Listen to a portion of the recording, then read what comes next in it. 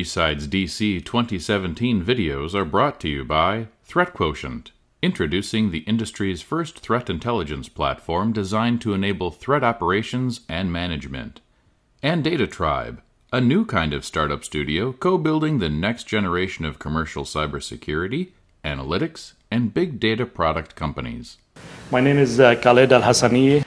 Uh, detecting malicious SSL certificates using machine learning. I know on the schedule it says in your spare time. I haven't included that here. I'll get to that a little, uh, a little later. But uh, it's kind of, you know, kind of an accurate statement. Uh, so the mot- motivation is, you know, pretty much well known by now that increasing share of encrypted network traffic, traffic, let's say uh, half or more than half, of network traffic is encrypted. And there is a, a push to uh, monitor the traffic for malware and other threats without man in the middle, meaning without decryption. And the SSL certificate uh, provides us with uh, a fundamental part of the encrypted traffic meta- metadata. And it provides us with its information that uh, we, can, uh, we can use. So as uh, as with any machine learning or data science project, first you need the, you need the data. And in this case, we need uh, labeled data, meaning we need uh, certificates that we know are bad, certificates we know are, are good, more or less good. You know, we know there, there can be some, some certificates that we know they're benign, turn out to be, uh, to be uh, malicious, but in general, you know, benign certificates and, and malicious certificates.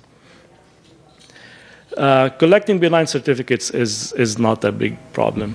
Uh, there are many available.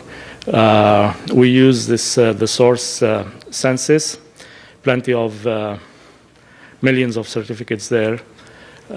we collect the trusted certificates there. We sample from there. Alexa 10,000 domains, we can we sample from there. And trusted certificate authority root certificates, these are self signed, like a few hundred of them. Getting the malicious certificates is, the, uh, is a more challenging uh, problem. And this is done uh, by uh, our threat research team, uh, particularly Jason Reeves. Uh, basically, collect the data, the IOC data of different malwares. Hmm? Okay. Uh, collect, uh, collect, IOC data of different malwares, and for the ones that use SSL, uh, we, we, store this, uh, this, uh, this data, and uh, for the ones that use SSL, go back and scan, this, scan this data, meaning port, IPs, and, and pull out the, the certificate. For, for this study, so far we have a data set of about 13,200 certs including 400, 4,300 uh, roughly malicious certs and uh, around 9,000 benign certs. We want to keep the uh, we want to keep the uh, the data set from being too imbalanced. We can collect millions of benign certificates, but that wouldn't be very helpful because we don't want to get the, the, the data set to be too imbalanced.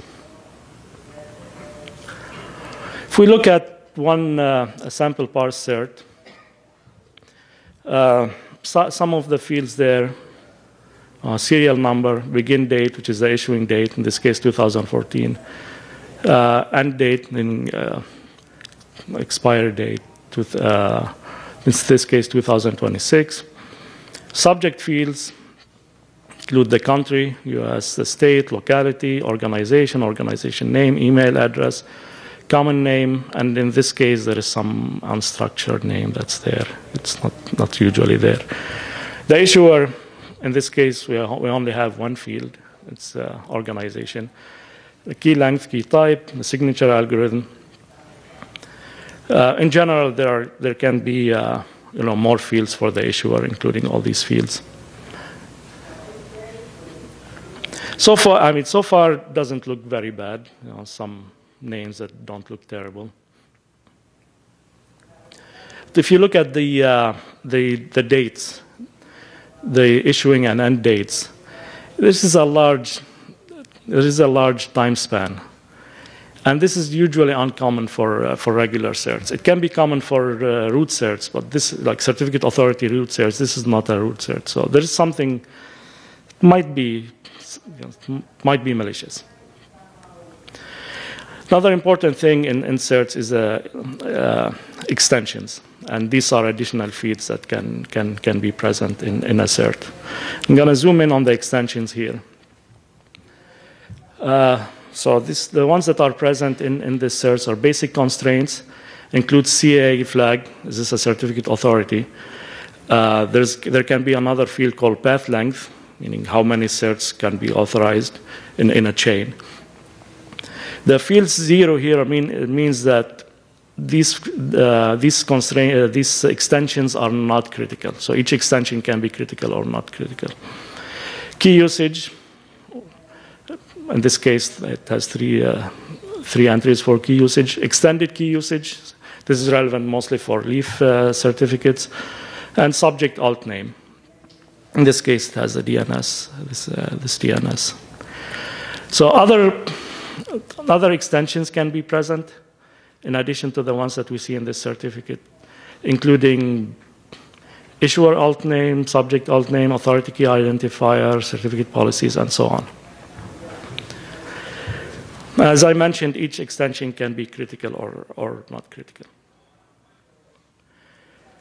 To, uh, I'm going to talk a little bit about the uh, machine, machine learning classification algorithms that, uh, that we use. So we, the basic idea is we want to build a, a, model, train a model using the data, using some algorithm. And after all that, we give it a certificate. It will tell us if it's malicious or not. So we use these uh, these algorithms, well-known algorithms for classification, random forest, logistic regression, support vector machine.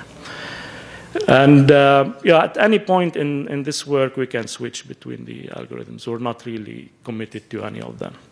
However, we compared the uh, accuracy, and in this case, the, the performance we mostly care about is the false positive rate. And uh, of the three, using the same data sets. And the uh, random forest, in this case, gives us a better false positive rate, lower false positive rate. So 0.3%, I'll get into the details later. 0.3% compared to 0.5% for logistic regression and 0.7% uh, for support vector machines. In addition, and th this is important, so in addition to the uh, to the data set that we use for training, the labeled data set. We want to test how the classifier does in the wild. So we collect data from some network and we test it on that network. So real network, not related at all to the training data. And we, we test the algorithm there to check the sanity because it might work for the data set that we have, but then when we put it in the wild, it might go crazy and gives a lot of uh, alerts. So for the rest of the, uh, of the presentation, um, I'm going to be using uh, random forest. So a few words about random forest. Uh, it's an ensemble of decision trees.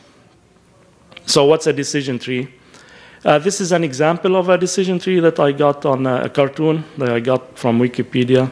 Unfortunately, it's not a, it's not a happy one. It's uh, a classification for passengers, whether they survived or they didn't survive the Titanic. So, not exactly happy. um, and it goes like this you know, is, the, is the passenger a male? If, if no, you have a, you have a high, high probability of surviving 0.73, 73% chance of surviving. If yes, you go down.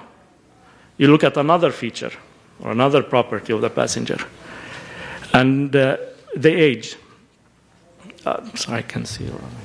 So, is the age greater than 9.5? If yes, then you have a very high chance of not surviving here. You know, if, if yes, if no, then you go down furthermore. You need to you need more information. You look at uh, at another attribute or another property, and in this case, it's a number of family members, and you go yes or no.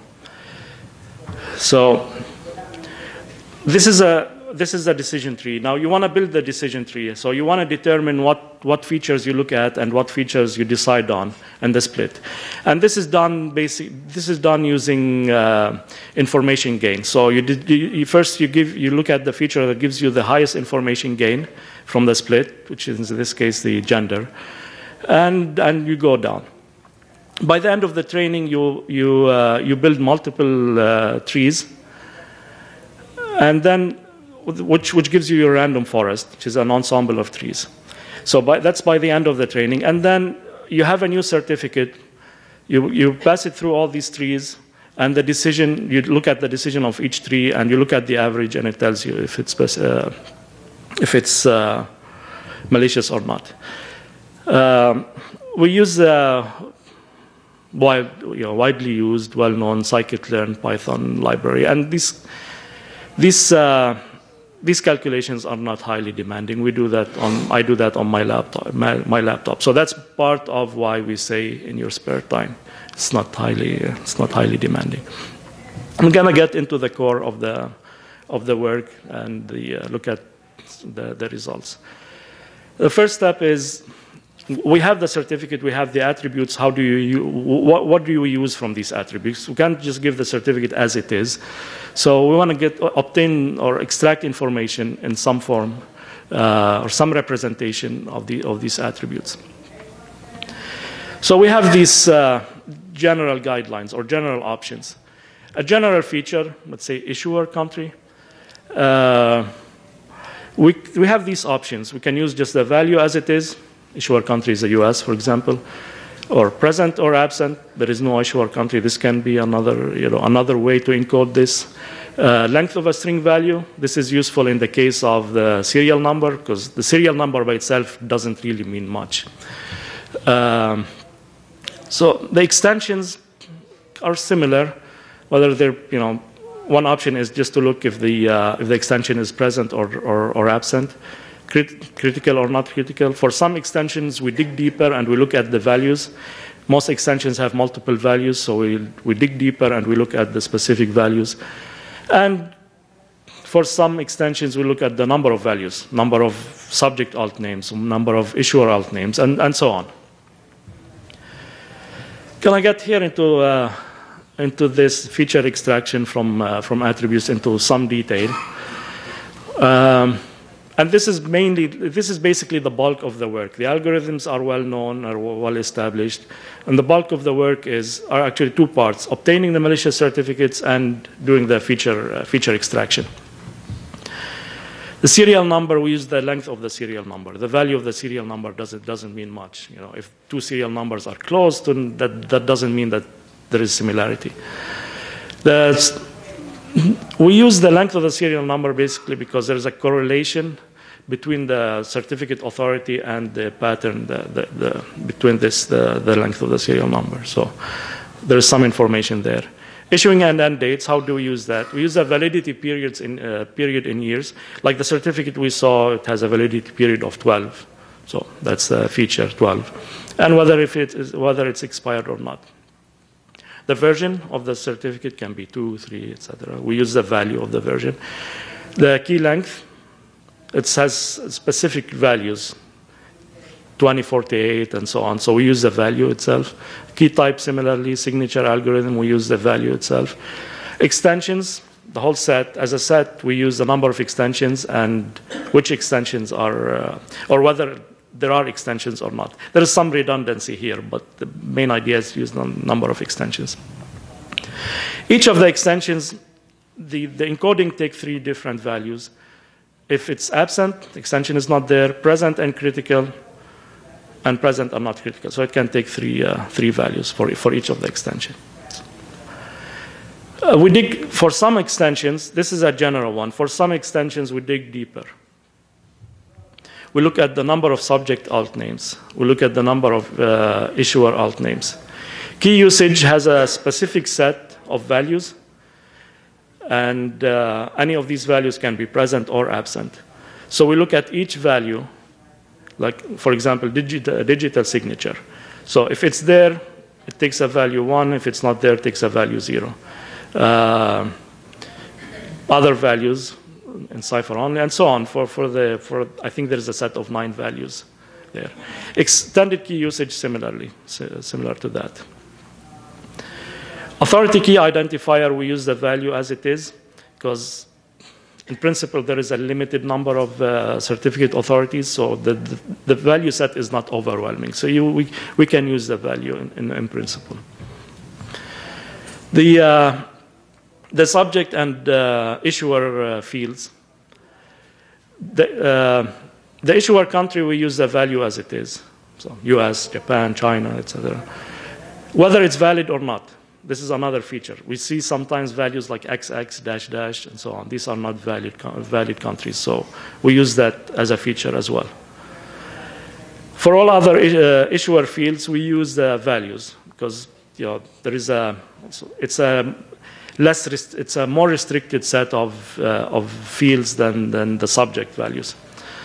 For the subject values, we use the country similarly to the issuer country value and whether it's valid or not. The other fields, because there is a large set, so it can be anything, anywhere. Uh, we use uh, we use the values of the the encoding is if it's absent or present, so zero or one. Now, all this are still we're still not ready to give the, to the uh, to the machine learning algorithm. We have to do a little more uh, a little more encoding. So this is a small set. Let's say you have a small data set, a training set, and uh, you collect the values, and this is the this is uh, basically the universe, the the feature space that you end up with. So you have some certificates with issuer country China, US, Japan, some certificates with version 2, version 3, length of serial number 3, 7, some certificates have uh, key usage is critical. Some have this value digital signature and key usage and so on. So this is a, a small subset. If we look at one of these certificates, it will be a set of, uh, it will be a vector of zeros and one. In this case, the certificate has issuer country US, it has version 3, it has uh, 7 as the length of the serial number, and, and so on. So we take this numerical vector, zero, uh, zero or uh, zeros and ones. And we feed it to the machine learning algorithm that we train, and it, it, will tell us if it's, uh, if it's malicious or not. So basically, this is the, the well-known machine learning pipeline with details related to our work on, uh, on, on certificates. Now we start looking at, uh, at some results.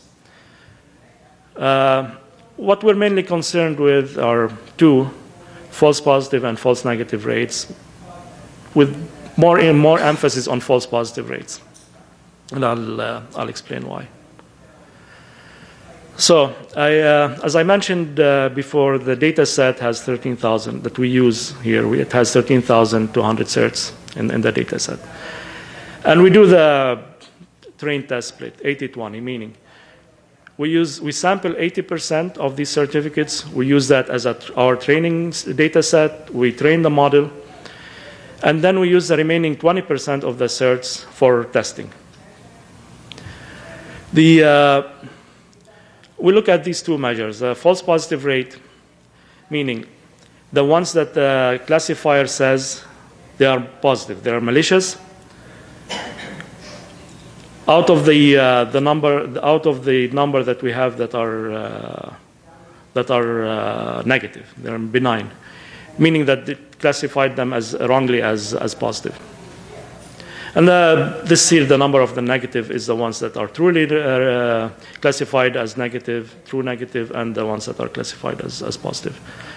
For the false negative rate is, is very similar, but you know the mirror image, meaning the numbers that were the number that number of certificates that were classified as, uh, as negative, meaning benign, over the total number of positive uh, certs. So we value, uh, one, this is random forest, and it gives us a probability. And we vary the probability threshold, like where, where do we set the, the threshold where we decide it's malicious or not? Meaning, So if we increase this, pro- this probability threshold from 0.5 to 0.9, meaning that we want to be more sure that the, uh, that the certificate is, is malicious. The false positive rate, as expected, will uh, decrease from 0.3%, so this is multiplied by 100, and this is percentage, so 0.3% to 0.1%. The uh, false negative rate will uh, increase as we increase this. Because you know we want to be more sure so we miss some certificates that are you know look malicious but not, they don't look very malicious. The probability is let's say 0.5 0.6 so we miss these and the false negative rate uh, increases. So this trade-off is is there and uh, you have to decide which uh, which one you care about more. In our case we uh, we care about the false positive rate because there is a large number of benign certificates. And if the false positive rate is high, it will give you a lot of warnings or a lot of malicious certificates that are, are not actually malicious. So you will, be, you will be overwhelmed by the number. So, so this is the, this is the, these are the numbers we get 0.1%, 5%. And uh, go and say a few words what, what that means. 0.1% means that false positive rate means that if you have a thousand benign certs, you will get one cert that's, uh, that is, the, the, classifier will tell you out of these 1,000 benign certs to 12, it will tell you that this is malicious out of 1,000. So for that, you will miss, so out for, uh, in return, 5% means, or 5. 5% means that out of 100 benign, out of 100 malicious certs, you will miss five or six. It will tell you it's not been malicious or so. This is the uh, this is what the numbers mean, and this is a trade-off. As and as I mentioned before, it's it's very important that we test this on independent, real real data we collect from the field make sure that these results are not just a property of the, of the data set that we have and uh, the classifier works well uh, in, in the field. So the, uh, now the dependence of the, how, how does this, uh, how do, how do these results depend on, on the data set size? Why we look at that? Because as I mentioned, the uh, number of uh, malicious certs that we have is, is an issue. We're, it's a, we're bottlenecked on that. We want to make sure that this doesn't, doesn't hurt us. Here I'm plotting the false positive rate. I'm pick, uh, false positive rate as a number of cert, uh, certificates in, in the data set. So these numbers, 2,000, 4,000, etc., we sampled them from the big data set, which is 13,000 certs. We, we do the sam- we sample many times for each sampling, we do the test data split also many times. We calculate the, we calculate the, these, the false positive rate, and we, ca- we calculate the average, and, uh, and we, we get this result. And this is a probability threshold of 0.5 that we saw, uh, we, that we saw before. In, in, in, that table, it was the, the false positive rate was around 0.3%. So at the beginning, for a small data set, uh, the false positive rate is high and it decreases and it saturates. Let's say if, if you fit this to a plot, it will saturate around 6,000 to 8,000 here and plateaus. So, meaning that we, we have a good number of, uh, of certs for, for training. Now, with that, with that said, we continue to harvest malicious uh, certs. You know, we're not stopping here. And why? Because we might, if we want to squeeze out more, uh, more accuracy, you know, a lower false positive rate, we, we, we, still, we can still look at more data. We can still do more feature engineering. We can look at other, uh, let's say, more complex uh, methods, meaning uh, deep neural networks, and see if this, you know, this trend changes. You know, if it keeps keeps decreasing with uh, with the data set size. So, meaning we can still gain from this, uh, from this, uh, from collecting more data. And also, we can still gain by making the classifier work better in, in, uh, uh, in the field. Um, the final set of results I'm going to show is the, uh, the feature importance. We looked at some the attributes and how we extract features from them.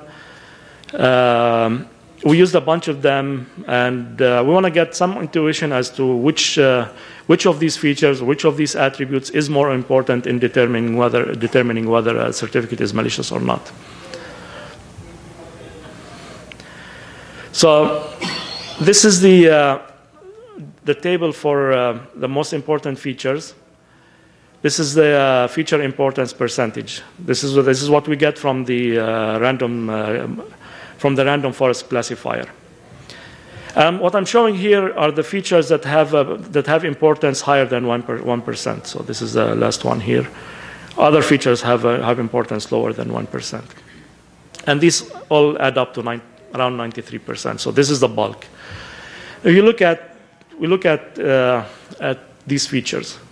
So certificate policies, this is an, uh, this is an extension, apparently has the highest uh, highest importance. Authority info access. Uh, this usually has links to the certificate authority URLs. Certificate policies has also links to specific policies related to certificate authorities or you know, PKIs and so on. Subject alt names, like different names for a website and so on. Uh, this is TLS web server authentication and extended key usage critical key usage, meaning if the, if the key usage is critical or not. Authority key identifier, this is an ID for the uh, certificate authority, and etc. It goes down. One here is the issuer country, if it's valid or not. So, and then here it's the issuer country, the value of the issuer country, the organization in the, in the issuer uh, entity, and, and so on, length of serial number and so on. And uh, what we see here is that extensions have a particularly high uh, importance, and in addition to issuer fields. So you cannot get away without looking at, uh, at these attributes.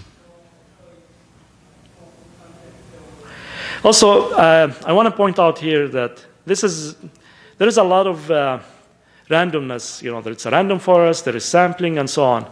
So you might run another set of calculations, sampling and averaging and so on. And you might not get exa this exact order or these exact numbers. But the most important ones will be there. So this might be the, you know, instead of the third place, it will be the second and so on. But the mo most important attributes are going to be there. So the order might change a little bit.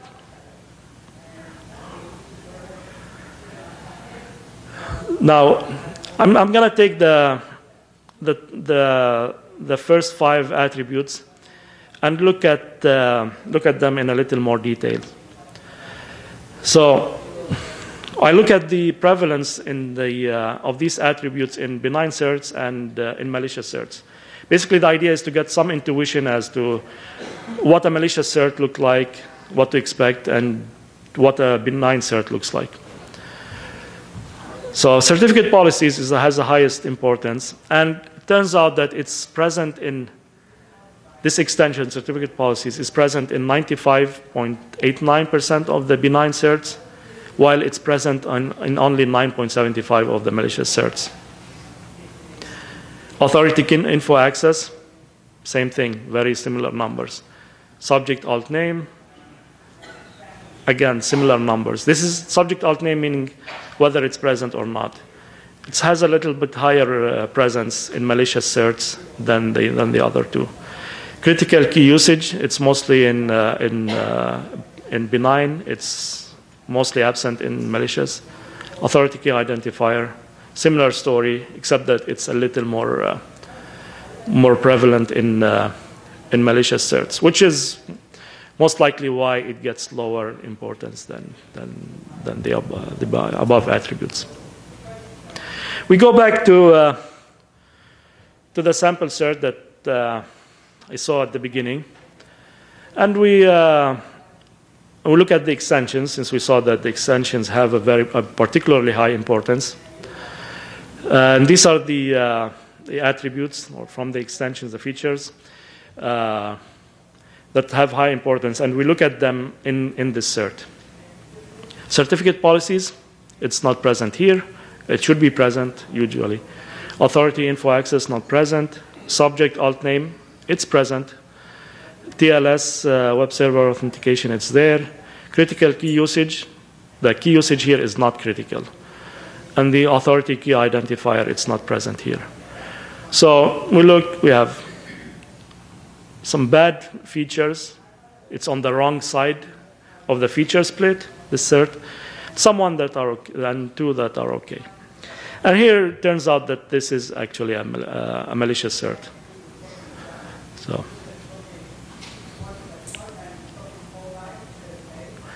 Now, uh, finally, I, are some uh, the summary and conclusions of, uh, of this work.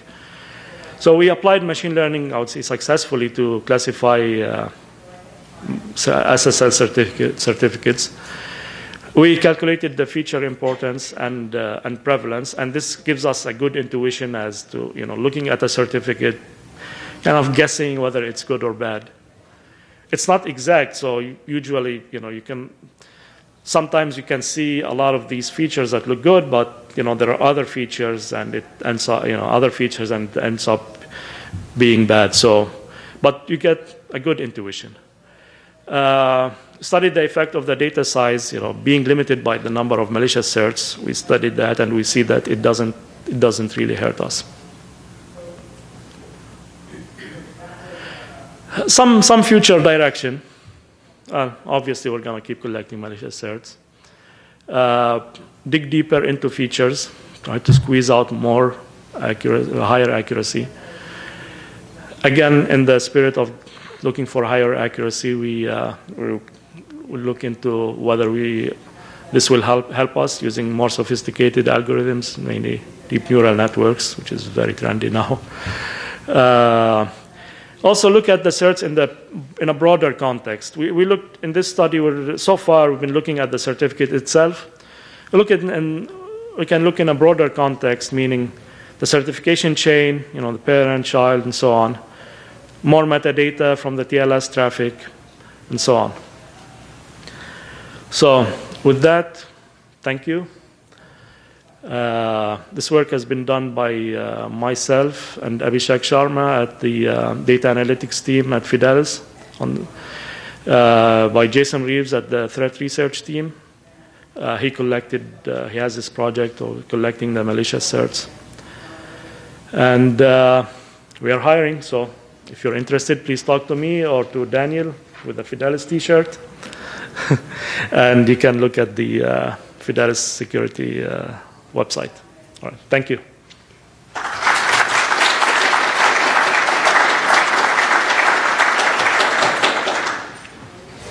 So your benign set is kind of biased towards the most popular sites because the Alexa top sites. Do you find that your model still works with far less popular but still benign sites that might have sketchier, less hygiene? Yes. Uh, actually, it's it's not only the Alexa 10,000. We use the Alexa 10,000. We sample from that. We also have the uh, Censys, and there it's not necessarily, we sample from that has millions of certificates. We sample from those. This though that is not necessarily the most popular. Now, well, it has uh, you know it, it has flags whether these uh, certs are trusted or not. You know, again, it can be trusted and malicious, but you know we're relying on the fact that the percentage of malicious certificates out there in among trusted certificates is low. So there might be a little bit of mislabeling, but you know, thank. Uh, I assume you've actually set something up to uh, test for the responsiveness for attacking this in real life. Yes. What's your actual response time? Are you talking about seconds, minutes, hours at this point with this particular classifier? Oh no, no, it's definitely not hours, not minutes. It's it it, it close to real time. Repeat the question.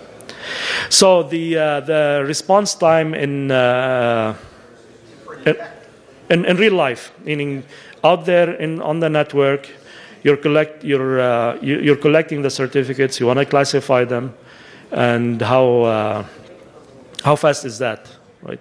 Is, talking about 100 milliseconds, or we're talking I, uh, we talking a second? Uh, we haven't gotten into into that uh, that detail yet. Well, we're working on putting that in in. We're working on putting that in the product. Uh, we collect. We have a database. We collect from uh, the, these certificates from the data from the uh, from the field, and looking at one certificate is extremely fast. I you know I don't think it's anywhere near a second. So um, Just asking, because Yeah. there's a lot of packets coming through. true, true. With false positive rate, have you looked at training it on specific sets of malicious certificates in order to lower that false positive rate rather than just all malicious certificates full set? Uh, specific, like specific types of malware.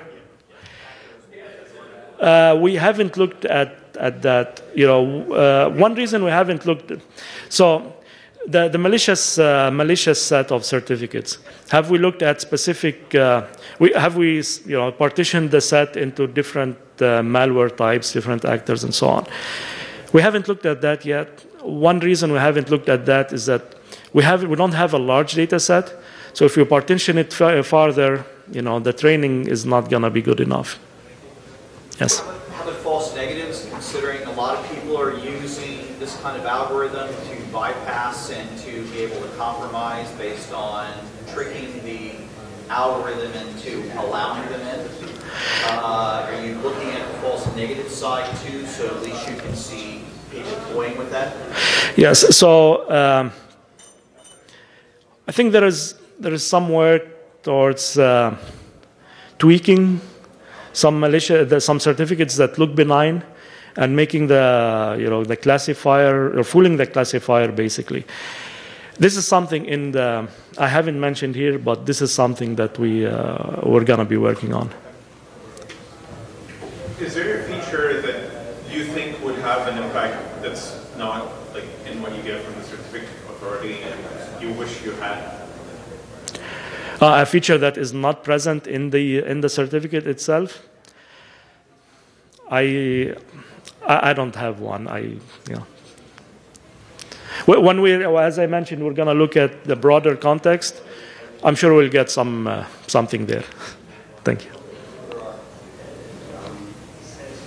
Yes. Is your intent to use this as a real-time alerting platform, looking stuff going across the wire, as a retroactive platform, or or what is, what is your long-term, like, what's the expected value?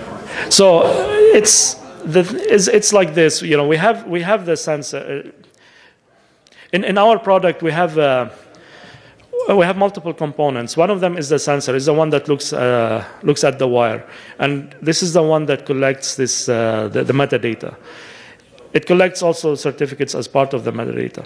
We send it to the uh, to a collector where we store the metadata. So we'll have a, a database of certs there, and then we're gonna look at the uh, we're gonna look at the certificates in that in that database. We can do that in real time. We can look, you know, once it the sensor uh, cap- captures that certif- certificate, we can classify it. But this is not the architecture we're uh, we're designing. We're designing the, the other architecture. The sensor sends it to the uh, collector, and then we go to the collector and we uh, we look at the uh, uh, at the certificates in the database. Yes. So, so the point is that um, you, you, you have a searchable web UI where you can look at historical alerts related to, you know, that, that, that came from this classifier. So the reason I ask is we, we, uh, with Lockheed, we, we've got our own uh, object-based IDS, we do real-time alerting on it. We have our own few machine learning, it's not for certificates yet. Seems like this would be a great, great fit for that kind of model. That- Where you're going with it or, or, or different things. I see.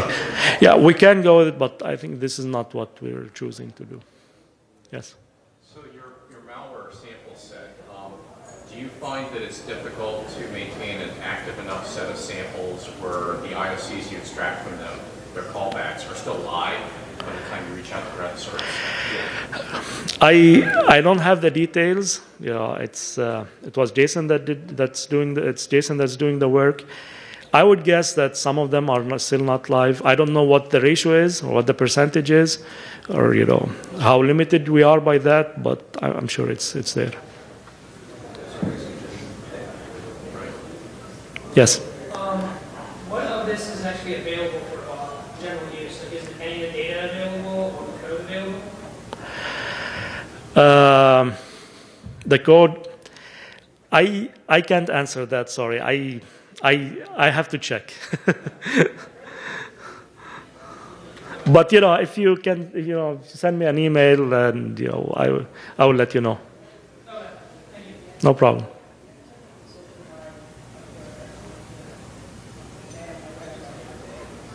All right. Thank you.